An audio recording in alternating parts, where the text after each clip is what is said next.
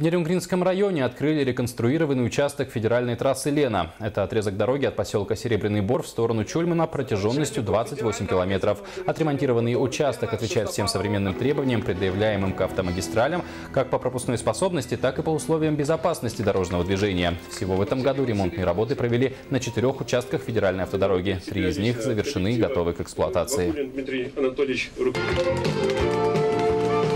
Нисколько мы темпы не будем сбавлять. Задачи стоят привести в нормативное состояние 85% автомобильной дороги Лена в нормативное состояние. На 31 декабря 2017 года у нас будет э, приведено в нормативное состояние порядка 68% протяженности нашей автомобильной дороги.